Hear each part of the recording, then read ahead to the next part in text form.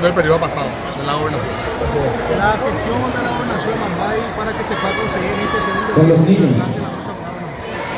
Así es, La foto oficial se va a realizar ahí en la galería con todos los niños de la institución. Nosotros empezamos a hacer el primer día de clase.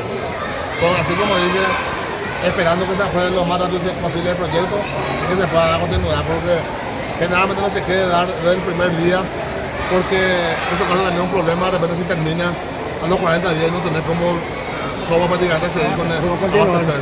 cómo continuar. Entonces eso es un problema por orden de Aguazú y en nombre de Dios yo creo que se va a aprobar bien rápido de todo este proyecto y va para ver continuar lo, lo, lo más rápido posible. Es como el objetivo de este proyecto, gobernador, es para que el almuerzo escolar sea único y que se pueda entregar hasta el final de clase. Final de clase y para que llegue hasta el noveno grado.